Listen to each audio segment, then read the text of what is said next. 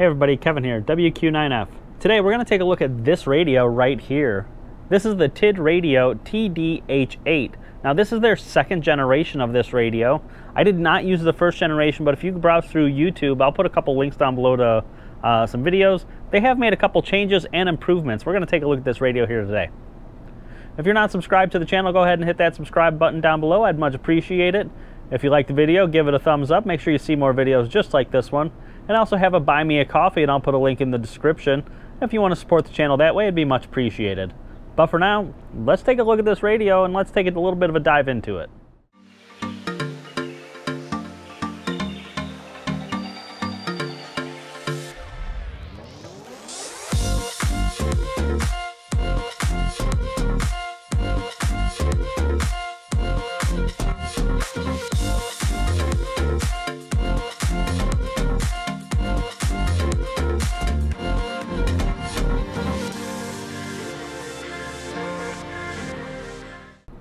So what I want to do today is take a quick look at this radio, kind of do a brief overview, what it is, um, what it can do, and I want to take a look at one of the most important things that I like to know how to do with my handheld radios, and that is to be able to program it from the front, uh, front panel. So this radio does have Bluetooth built in, which is kind of a nice feature because it allows you to connect to an app that allows you to program this radio remotely um, which we'll take a look at in the next video. Uh, but if you don't have your phone, if your Bluetooth isn't working, or if it's being uh, a little crazy and you're not getting a connection, I think it's super important to be able to know how to program all your radios from the front panel, if at all possible. So I'm going to do a quick overview on how to do that. It's really simple and uh, you know pretty easy to use. So first things first, this is a uh, dual band radio. This is the TID Radio TD-H8. This is their ham radio version. They also make a GMRS version of this radio, just in case you're interested in GMRS radio, which honestly, um, I got my GMRS license this year and I've never used it. But from what I um, have kind of heard, there are some active GMRS repeaters around me, so uh, I might honestly pick that one up to go along with this. Now, TID Radio did send me this radio to take a look at, and uh, I'm going to do that, see what it's like, learn how to program, learn how to use it, and I might take it to a couple hamfests, uh, maybe not. Uh, in the end though, this is actually going to get given away to one of you, so stay tuned for that video. Alrighty, so here is the front panel of this radio. You can see here we do have a colorful display. Uh, it's fairly bright. Uh, at the top we have our power meter. We have our current frequency displayed. Down here it'll tell us what kind of what's on like channel A and channel B because we are able to switch between our A and B just by pressing this button so we're able to see two of these frequencies at once. Now I have done a couple things to this real quick before I uh, started the video. This is more or less what it's going to look like once you turn the radio on if it's brand new. Um, first thing, I turn the backlight on so it stays on all the time. Um, and then I changed it from um, frequent VFO mode or frequency mode to channel mode. Channel mode. You can see here. Frequency mode press this button right here. It'll go between VFO and memory mode. Um, I get local interference on 144.000, so you can see right there it's kind of going off. Channel mode. So I just turned it over to this. Now on the side here we got a couple buttons. We have our PTT or push to talk button. That's a nice orange line button.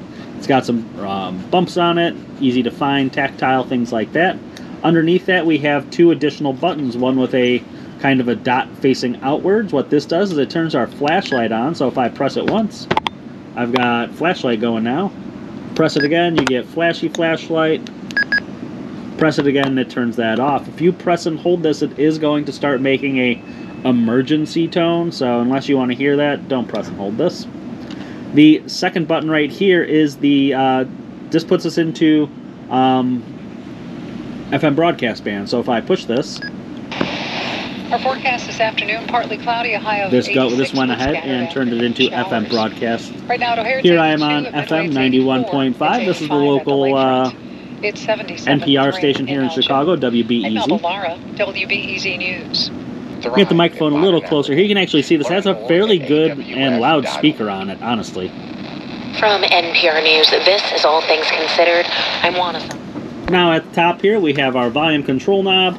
we have this button right here. This is a, uh, you can do a short press, long press, but this is a customizable button. Uh, so you can change what it actually does. So you can do things like turn the flashlight on and off, send out the emergency tone, things like that. Um, I don't know what it's programmed to do uh, from the factory, so I just, I'm, I pressed it. It doesn't do anything right now.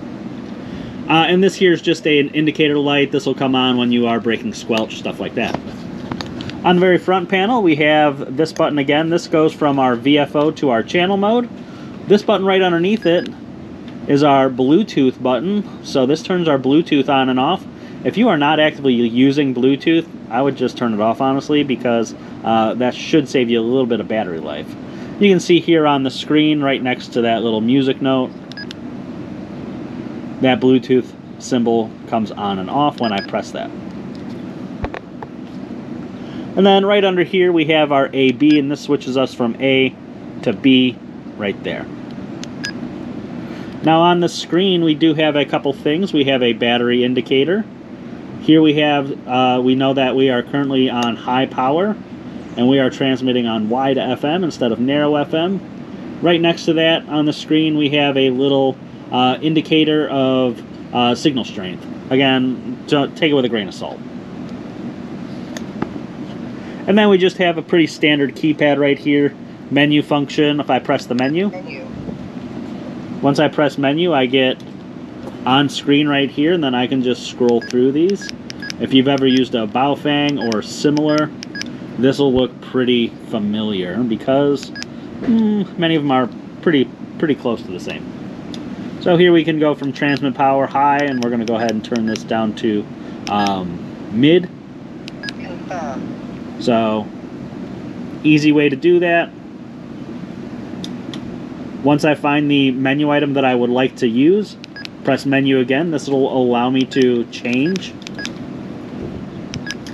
Using my up and down button, hit the menu again, and that will say, that will confirm and put my change into effect. So I'm going to make sure go this back down. I'm going to go back to mid.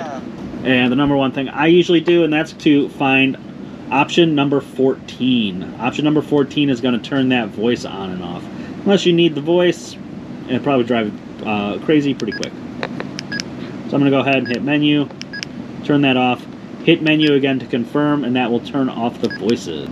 First thing I'm going to do is I'm going to program in the uh, 2 meter simplex calling frequency, which is 146520.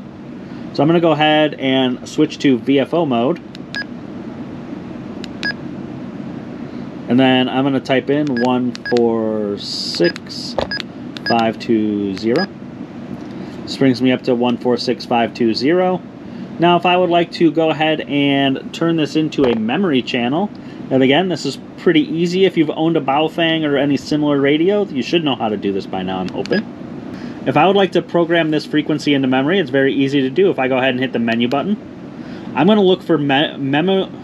I'm going to look for menu item number 25. Menu item 25 is memory, and it should have on there CH001. That just means channel 1.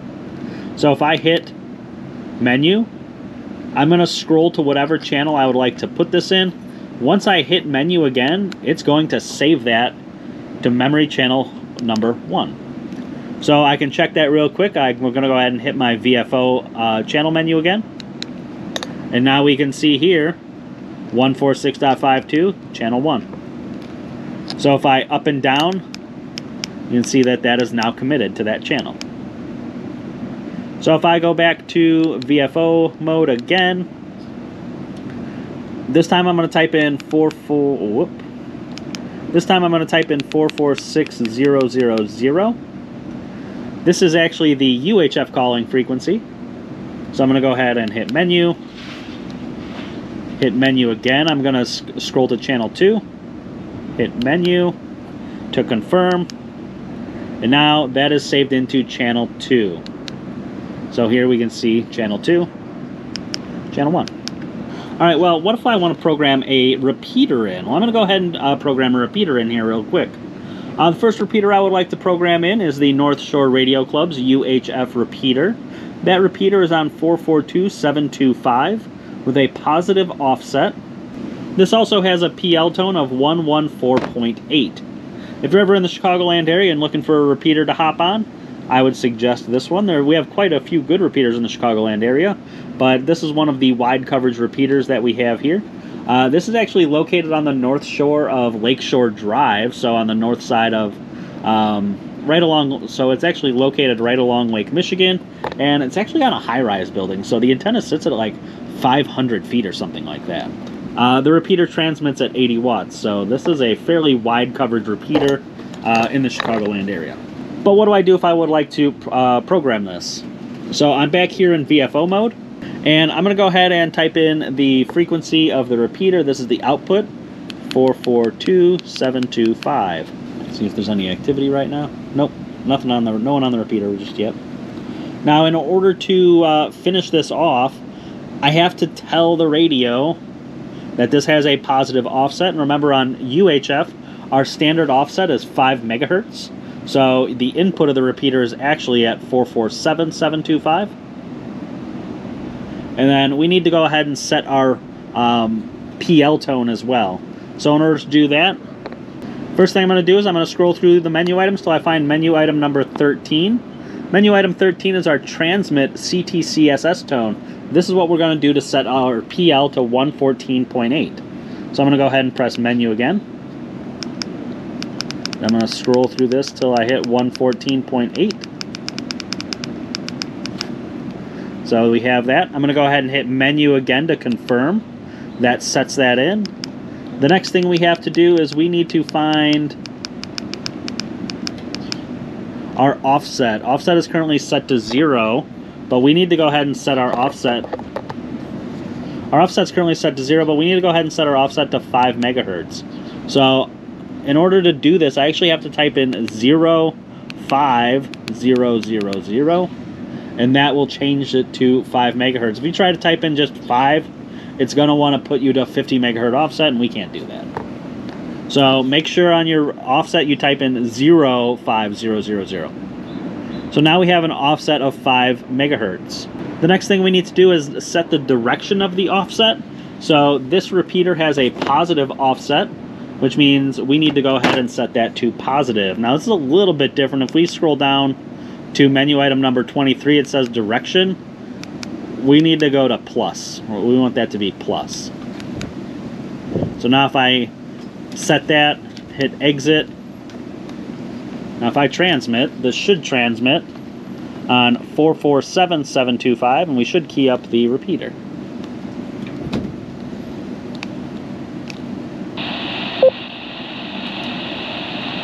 We go. So now that I confirm that that is actually indeed working on the repeater, I'm going to go to menu again. I'm always really bad at which way to scroll. I need to scroll through to the memory, memory somewhere. Where are you? There we go. Memory. And we're going to commit this to channel 3. So I went to memory, channel 3. I'm going to go ahead and confirm that. Now that is programmed into my memory channel 3. Exit. I'm going to come back to channel mode. Now I have my three channels set. Channel 1 is the 2 meter calling frequency. Channel 2 is the UHF calling frequency, 70 centimeter. And then here we have the North Shore Radio Club uh, UHF repeater. All in all, programming this, this radio from the front panel isn't too bad. It's no worse than programming a radio from the front panel of any radio that you can pretty much pick up, whether it's a Baofeng, whether it's a, uh, another TID radio, or you're using, uh, say, a, a Yaesu or a Kenwood in the next video, I'm going to show how to use the app in order to program this because that has a couple really interesting features in it. And honestly, it makes it super easy to program. Again, I like to see how to use the front panel of a radio because what if my phone's dead? What if my phone's broken? What if I the Bluetooth isn't working? Um, all of those are kind of nice to know in case the technology side of stuff it doesn't work. Uh, so far on this radio, decent form factor. I like the USB-C charging. Uh, no harder to program than any other radio I've programmed. The display, it's okay. It's colorful, you know, it's color screen. It's fairly bright. Um, would I like it to be bigger and brighter? Yeah, but I feel like I've gotten a little spoiled because my go-to radio is normally my Yaesu FT3. That has a really big, um, it displays the frequency really big. It's a nice big display. It's touchscreen. I've been using that for several years now, and I feel like I've gotten pretty spoiled on it. So uh, I would like a little bit better screen. Speaker quality seems to be okay so far. Um, I'm going to do a transmit and a receive test in a, in a video where we test the power. NOAA weather radio. It works. You know, no complaints there. Um, FM broadcast, it's nice. It's nice to have. Uh, you know, if you're able to uh, to be able to listen in and out. No aircraft receive. Yeah, okay. Uh, not the end of the world. So that's the TID Radio TDH8. So far, not too bad. Um, $62 is the price asking on this, and uh, we'll see how it works when I do a couple tests with it. So stay tuned for my next couple videos. I'm going to have at least two more videos on this. Uh, the first one, we're going to take a look at the app and how to use the app uh, because it's pretty nice and it's pretty simple. We'll say pretty simple. But the app's really nice to be able to uh, do the Bluetooth because it has a couple cool functions on it. The other one we're going to do is we're going to do some transmit receive tests with this and uh, test it out, see how it actually sounds and see how it sounds on the other end. And we're going to test the power output because they advertise 10 watts. We're going to see if we're actually getting 10 watts out of this. So thanks for watching everybody. Until next time, 73.